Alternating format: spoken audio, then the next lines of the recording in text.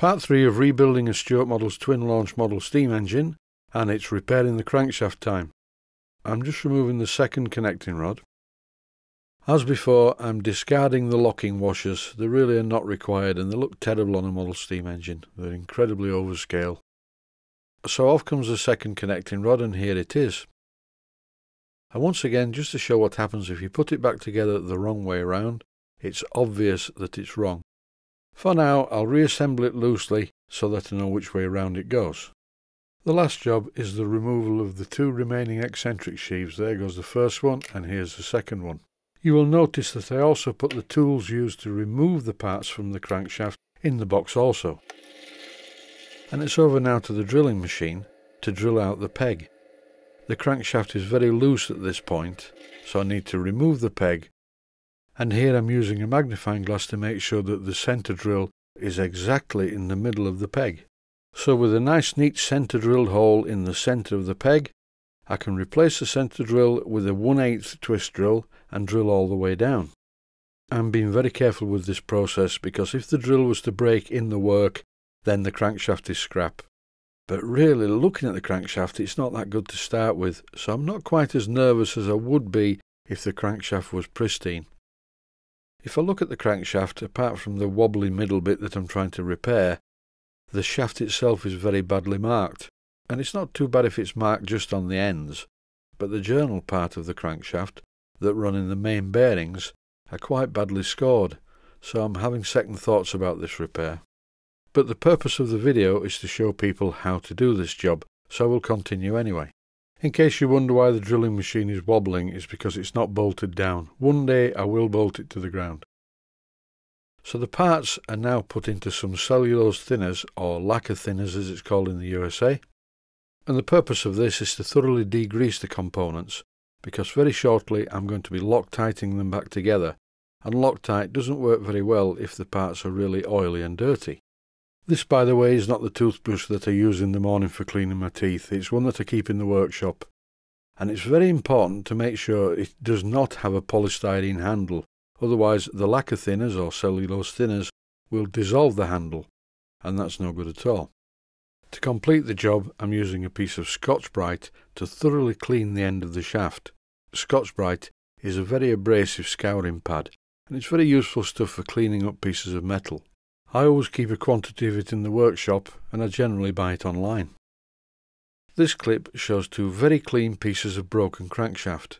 So now I'm going to apply some Loctite to Loctite them back together. This is Loctite 638, it's supposed to be stronger than 603, but it is also slightly more viscous than 603, which could be a problem if the tolerances are very close, but in this case they're not, so it should be perfect for the job. This next bit is quite important. With the crankshaft firmly in the lathe, clamped at both ends so it's held in the correct position, it's essential to make sure that the peg and the hole in the crankshaft align. I'd already made a new peg, which you can see on the bench, and I need to fit this in place in the hole in the crankshaft. This next part takes place after the Loctite has cured, and in the picture at the moment is a hammer, a rather large hammer. This is more of a model size hammer. Hitting the pin with a large hammer is likely to damage the crankshaft, so it's more sensible to use a lighter weight, and don't put a lot of pressure on it. I'm doing this on a steel block that sits on my bench which is very solid indeed. And even though it looks like I'm putting a lot of pressure on the crankshaft, I'm not. And then when I put the crankshaft back in the lathe, I notice it's still not right. The part I've fixed is but also the next part is loose. I didn't notice this because everything was really moving. You can see the oil ring around the pin. And this is a deja vu. I'm doing the same again. I'm going to try and fix the second one. No, I'm not really. What I'm just doing is showing the principle one more time at high speed. I've already decided to scrap this crankshaft. It's no good at all. I was, of course, curious to see whether by doing this job the crankshaft was in good alignment, but when I checked it in the lathe with the dial test indicator, it was bent in so many different places, so it's really scrap.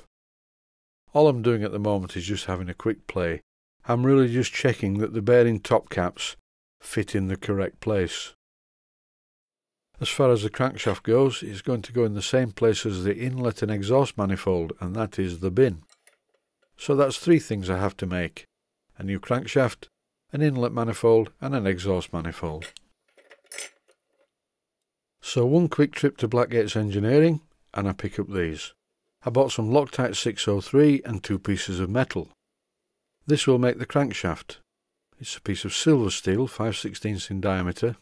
I already had some of that but I needed some more for stock and a 1 8 thick piece of steel bar. The Loctite 603 is still my favourite. I don't think I like the viscosity of 638. So in one of the episodes of this series I will be making a new crankshaft from scratch.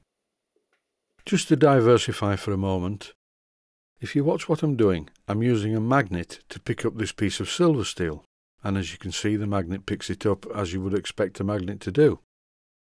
These are other pieces of steel, and this is not terribly magnetic. It is sort of magnetic, but not very much. Not as much as that. And these small pieces, well, they appear to be a bit magnetic, but they're not really. There's nothing there. And this piece of steel is also not very magnetic. And the reason for this, of course, is that the large piece is silver steel and the other pieces are stainless steel. And stainless steel is generally non-magnetic, but the magnetism does vary depending on the type of stainless steel it is. This is a piece of wood. This is definitely not magnetic. This is a Bahco adjustable spanner and they really are good and they're very magnetic. That's made of iron.